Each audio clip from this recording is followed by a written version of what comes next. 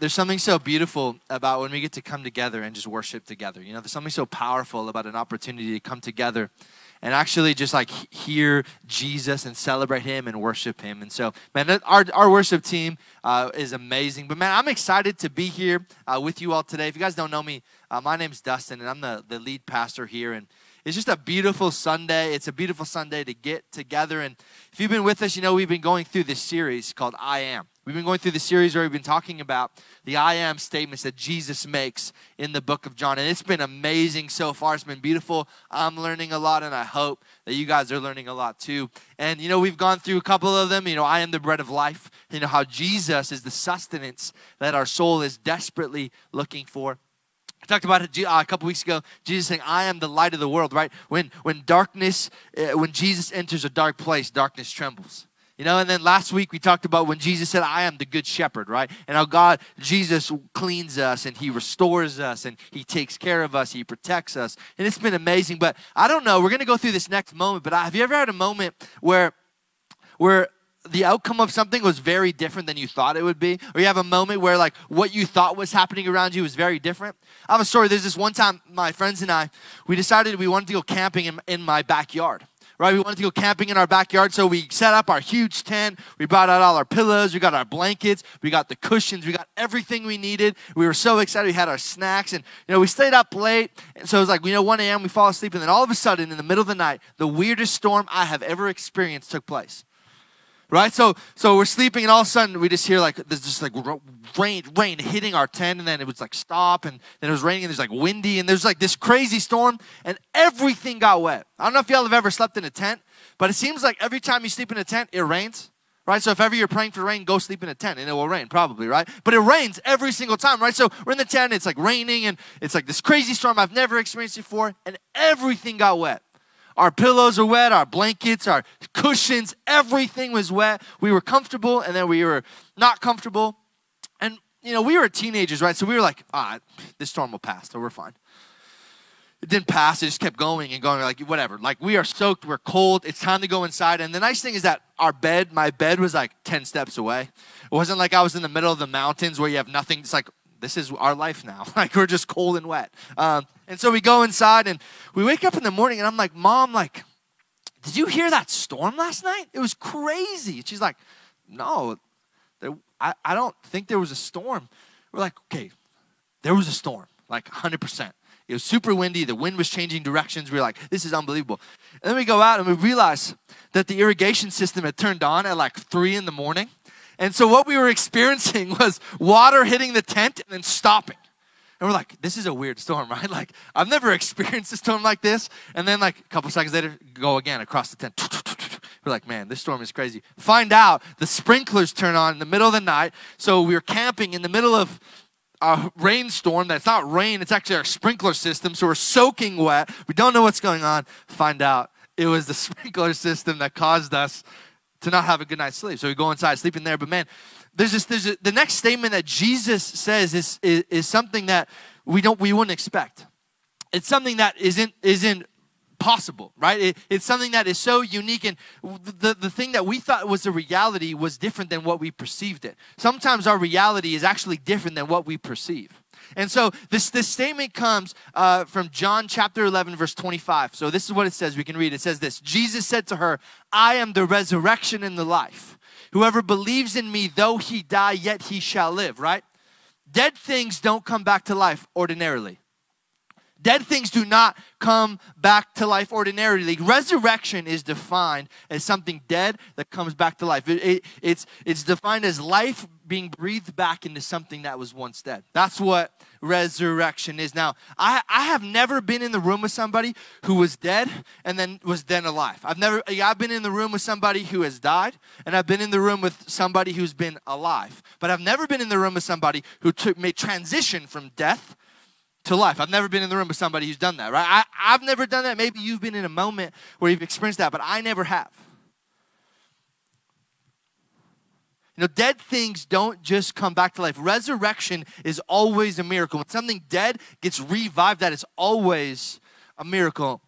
The context of this statement, when Jesus says, I am the resurrection and life, the context of this statement is so beautiful and so amazing. It's, a, it's, it's an absolutely incredible, and it comes from the story of Lazarus.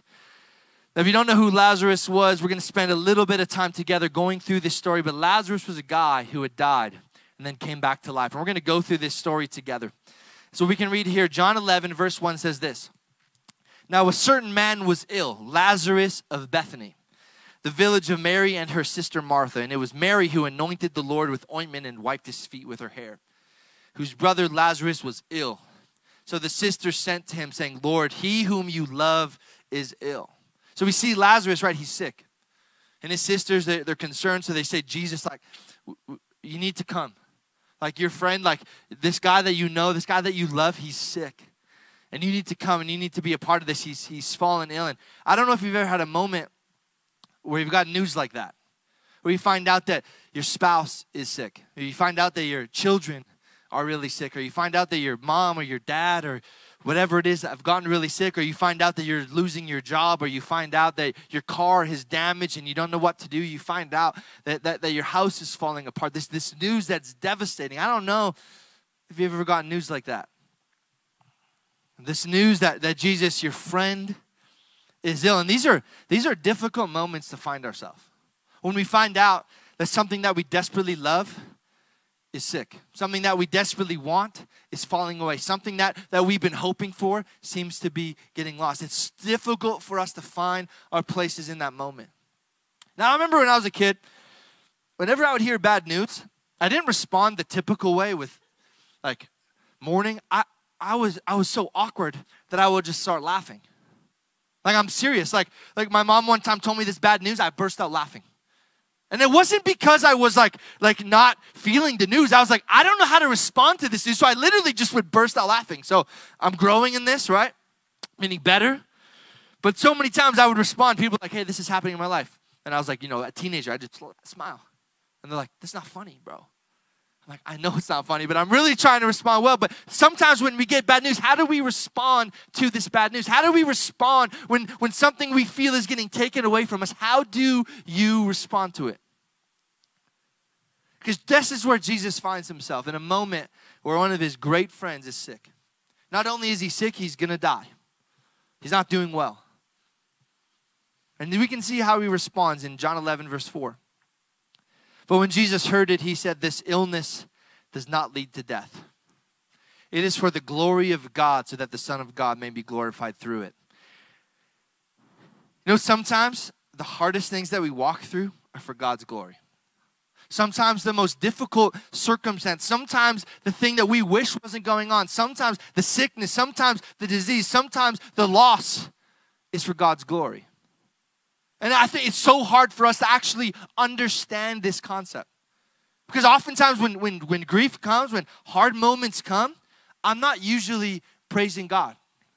Not, like I'm not going to lie to you. It's very hard when things are when things are going hard for us to say, God, this is for your glory. You know, we we read it, we we know it, but it's so hard to actually live that out.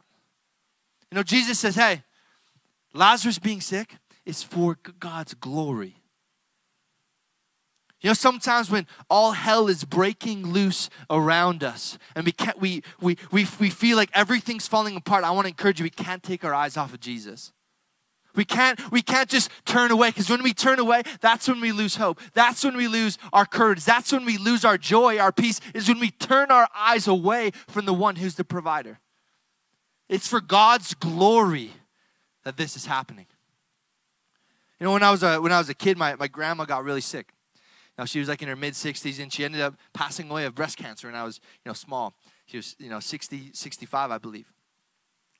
And I remember as a kid, I didn't understand why. Like, like I didn't understand like why is there death in this world, right? Like why are, do people have to die? Why, why do bad things happen? Like why are these things happening? And I think these are questions that like we continue to ask ourselves because to, to be honest, I don't know if we fully understand it. Like why do these things happen? Why do my kids get sick? The other day, my Jane, she had an infection, and I'm literally holding her. She has a fever, and I'm just bawling my eyes out. So I'm like, I wish, I wish I could do something. I wish I could, I wish I could make you feel better, but I can't.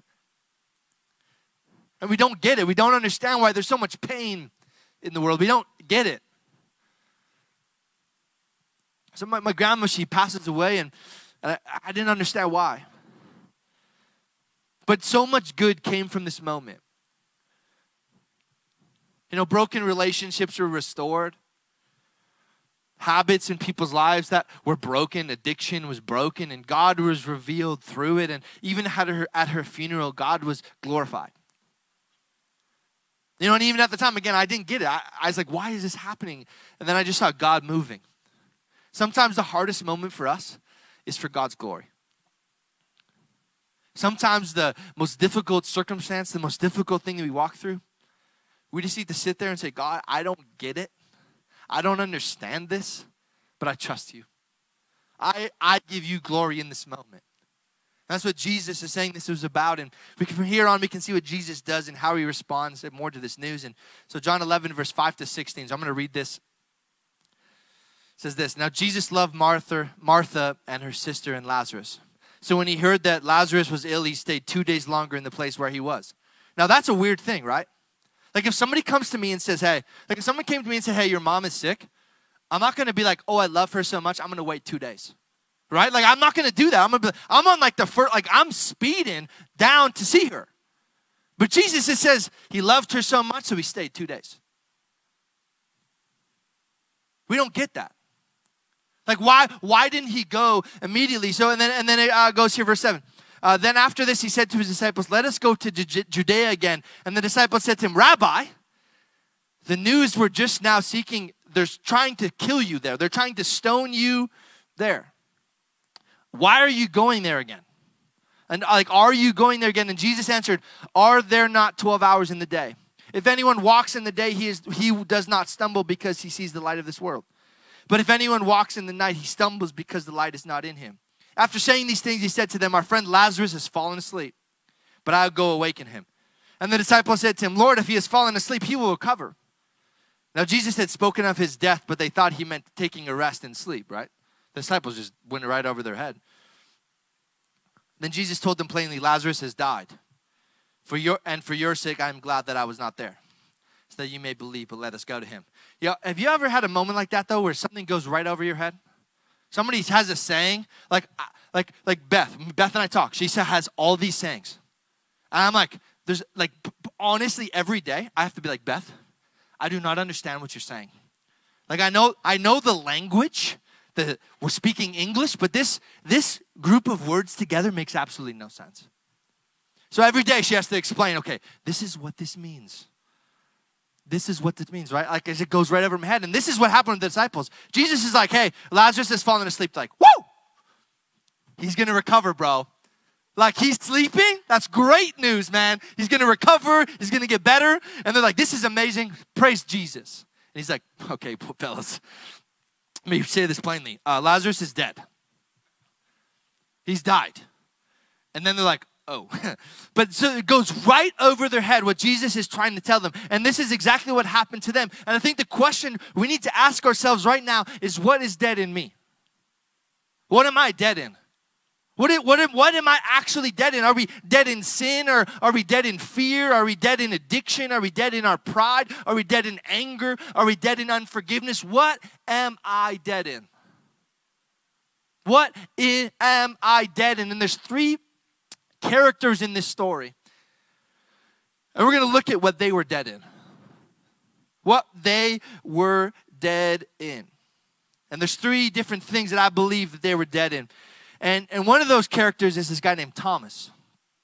Now, if you know Thomas, we all know what Thomas is known for. No, Thomas is known for doubting. Like if you remember when Jesus has been resurrected, he's come back to life. He goes and he goes to, uh, and the disciples are like, "Yo, Jesus is back." He's like, "I don't believe it, unless I can feel the the the, the holes in his in his uh, hands and I can see him. I won't believe." That's what Thomas is known for. I think for a lot of us, this is what we would be known for too if uh, people were writing our story, right? We'd be known for doubt. So the first thing that I think that we're dead in is we're dead in our doubt. You know, we can read this, verse 16. This is, honestly, this is one of the funniest moments in the entire Bible. So they, so Jesus, remember, Jesus just said to them, they just, Jesus said, we're going to Judea. And they're like, don't go to Judea. They're trying to kill you. This is Thomas. So Thomas called the twin, said to his fellow disciples, Let us also go that we might die with him. Right? Like he, he's literally like, They're going to kill you. I'm your friend. You're asking me to go with you. Fine. I'm ready to die. So he's like, Let's go. We're going to die. This is a sarcastic statement that he makes, right? Let's just go die with Jesus. I'm ready to do it. So Thomas responds, Let us go along with we may die. He, he's doubting. He's doubting what Jesus said he will do. He's, he doesn't have the faith to say, you know what, I don't know what's going to happen, but I trust Jesus. This is for God's glory. He, he doesn't have that. He's saying, I'm just going to go to Judea and die. This is my future. This is what I'm excited about. I think a lot of us, we can relate to Thomas a bit because if you've ever had spiritual doubts, have you ever had a moment where you doubted God? Have you ever had a moment where you doubted God was real? Have you ever had a moment where you, you doubted? I think all of us have a moment where we can look back to and say, I doubted. And I, I have that, I have moments like that to this day where I just sit there and I'm like, I, I don't know if he can make get me through this moment. I don't, I don't know if I have enough faith. I don't know, I don't know, I don't know. And I think a lot of us we have doubt. Just like Thomas had, you know, I've had prayers where I, I prayed prayers without faith. Or I prayed things and like, this isn't gonna happen. I just prayed it because I know I'm supposed to. And I didn't have the faith that something would actually happen. I've doubted God when it comes to my finances. I've doubted God when it comes to my health. I've doubted God when it comes to health of others. I've doubted God. I think a lot of us we we feel guilty about that. We feel guilty like like I shouldn't doubt. But I think there's still moments where we do. Because it's because it's not easy. When difficult moments come up, doubt shows up. And we need to step out of doubt and step into courage and faith and say, God, I don't get this, but I trust you. We've all doubted at some point. Some of us doubt almost every single day. We doubt everything. We have little faith when it comes to day to day life, and we're dead in our doubt. Number, number two, the second character um, is Mary. And it's this is that we're dead in our hopelessness. And Mary, another character in the story. Verse uh, John 11, verse 17. Now, when Jesus came, we found that Lazarus had already been in the tomb for four days.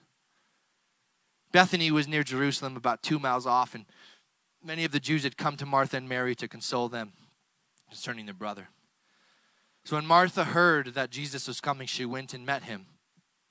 But this, but Mary remained seated in the house. See, Martha, she left to go see Jesus, right? She's like, there's got to be something. There's got to be something to hope for. Mary, she stayed seated in the house. She stayed home. She had no hope. Like, like Jesus isn't here. He's been dead four days. That's it. I have nothing to hope for anymore.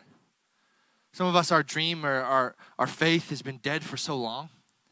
That's where we're at. We just we don't hope anymore. We just sit at home. We sit in our depression, we sit in our anxiety, we sit in our fear, and we have no hope that we're ever going to make it out. Some of us, that's where we're at. We're stuck in hopelessness. We look at our life and we say, I'm always going to be depressed. I'm always be going to be going job to job to job. I'm always going to not have a job. I'm always never going to get married. I'm never going to find the right person. I'm never going to be able to have kids. I'm not going to I'm never going to have the job that I wish I had. I'm never going to see these dreams inside of me become a reality. I'm always going to be like this. I'm always going to be like this. We're like Mary. We have no hope on the other side. We, we, when, when we see something awesome happening, an opportunity to serve or an opportunity to give or something, we just stay back. He's like, I have nothing to hope for anymore. And this is Mary. Martha went to see Jesus. Mary's like, nah, I'm good. I'm staying home. I don't, I don't need to be a part of this anymore. I'm broken. Jesus doesn't, doesn't care. I'm done. And I find myself in this place oftentimes. I don't know if you do, where I look at my circumstance and I think, I'm never to make it out. Like, like we feel like we're just stuck in a tunnel and we can't see light on either side. And we're like, this is where I die. We have nothing to hope for, nothing to dream about, nothing to be excited about. This is where we find ourselves in because hopelessness creeps in. You know, dead in our doubt, dead in our hopelessness. Number two is this is that we're dead in our timing. You know, we can read Martha. Martha, uh, uh, verse 21. Martha said to Jesus, Lord, if you had been here, my mother, my, my brother would not have died. You know, because she said, Hey, we told you, and you waited two days. If only you would have come when I asked you to come, then he would still be alive. Why did you do this? How many times do we wish God would show up when we wanted him to be there? We, we want him to show up before the terrible circumstance. He says, I'm going to show up in the middle of it and carry you through. You know, he's there the whole time. But if you see this moment, she's like, God, where were you? How many times do we have that prayer? God, where were you?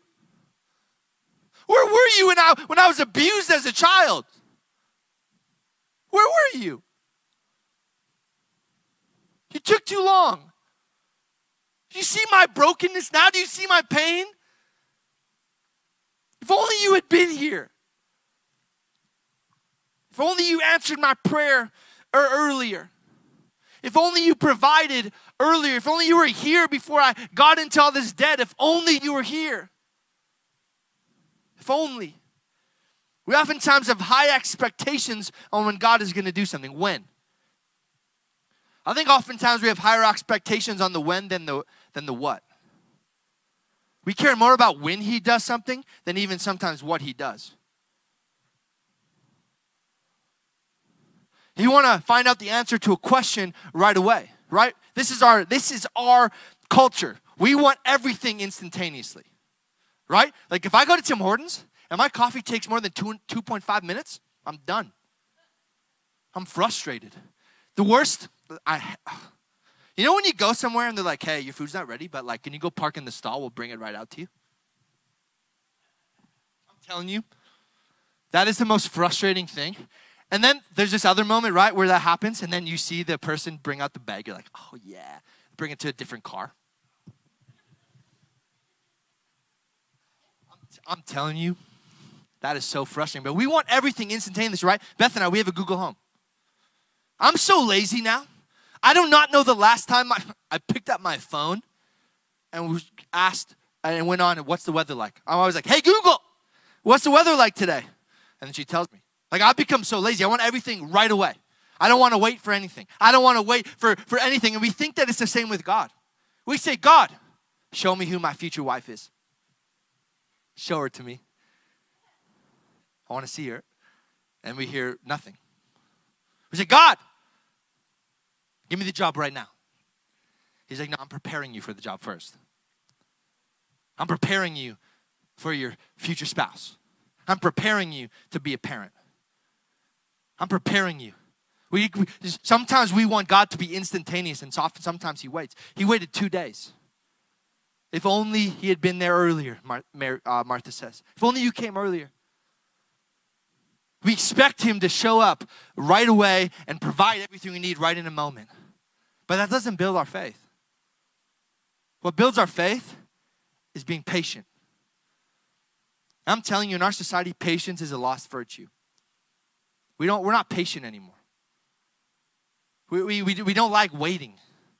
We don't like when our kids don't obey us right away. We don't like it when, when, when we're waiting for other people to provide work because we need to do the work and we're waiting for their project to get to us so we can do it. We don't like being patient. We don't like waiting. And this is what we need to go back to is being patient and saying, God, I don't get this timing. Like I do not get why you couldn't have prevented this from happening. But now that it's happened, God, I need you in this moment. I need you right now because we're dead in our doubt. We're dead in our hopelessness and we're dead in our timing and we lose faith based on these things.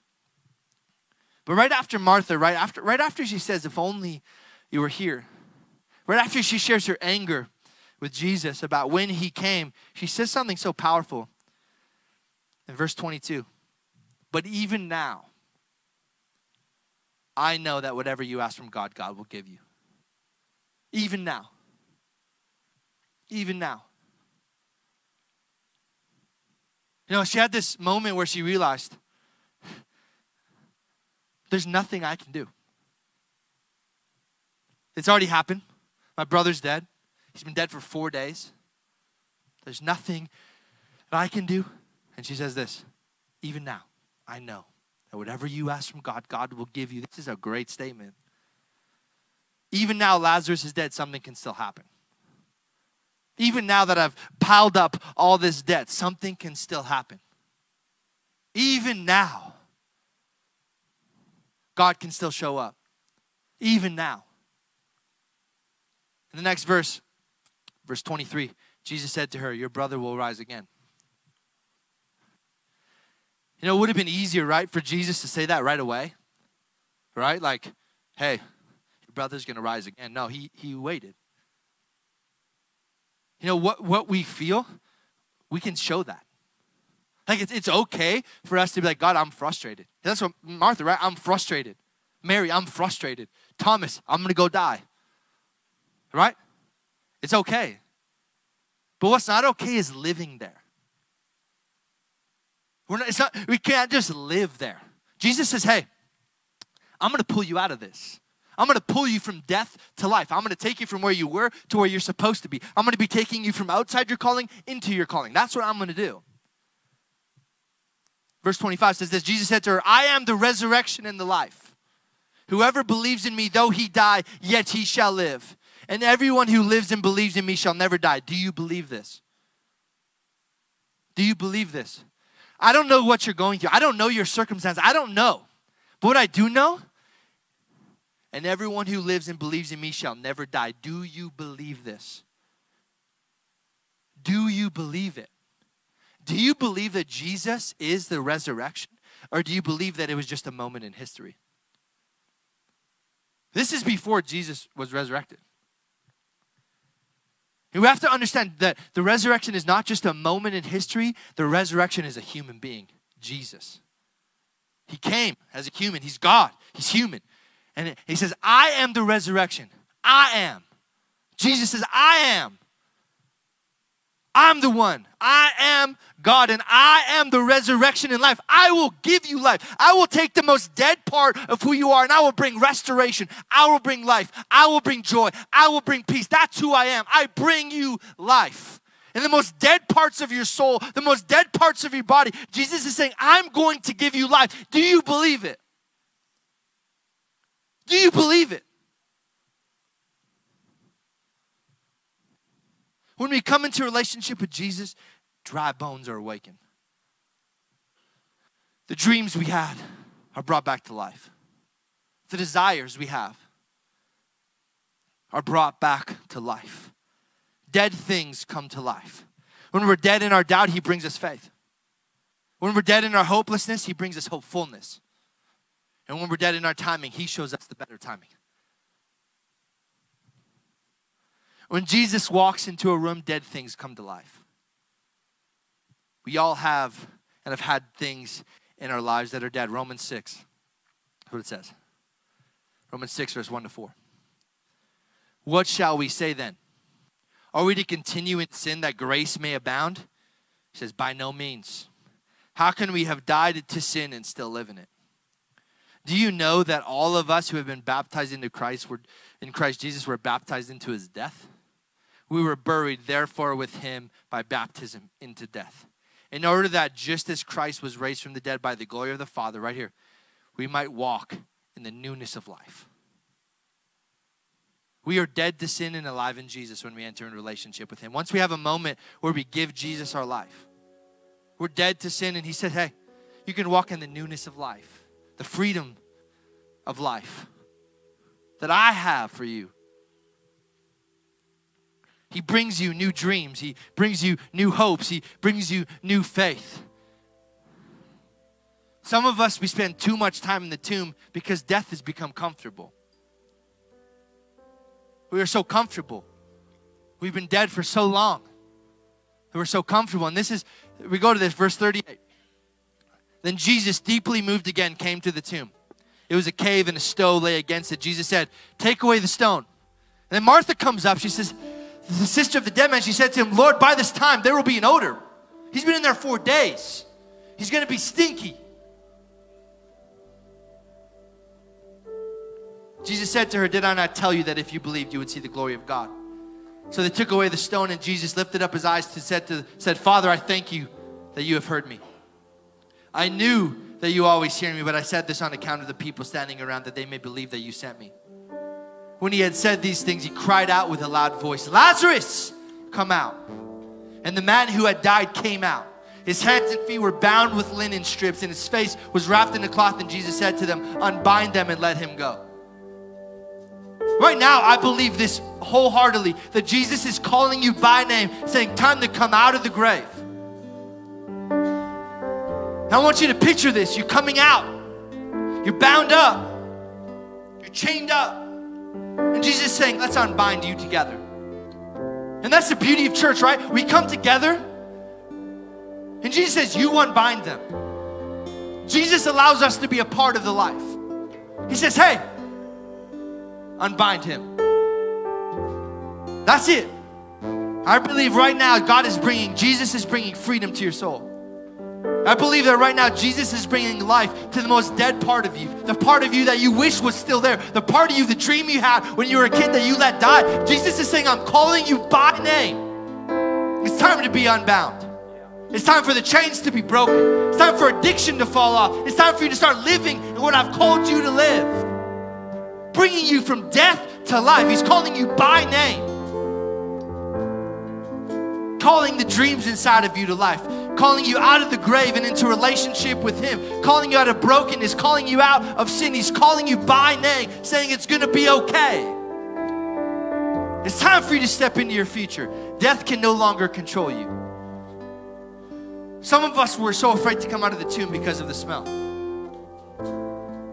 We've been dead for so long, we, we don't know if people are going to recognize us. We don't know if, if people are going to be okay with the transformation. We don't know if, if our friends are going to want to be friends with us anymore. Our family is going to want a relationship with us anymore. So we're afraid to come out of the tomb. I believe the door is open and He's waiting for you to step out. Step out of the tomb. He's done, I've done my job. Time for you to do your job. Step out of the grave. Let Him clean you and bring you the newness you desperately need. And one thing we've been doing as part of this, this series together, I am, is we've been having takeaway statements, and this is our takeaway today. It says the resurrection is not just a moment in history. The resurrection is a person, and that person is Jesus. Yeah. It's not just a moment, it's a story. It's a journey. The resurrection is not just a moment, it's a person, and that person is Jesus. You know, we have a, a song that we're gonna sing. Our team's gonna lead us in. I just want to encourage everyone just to stand right now in this moment.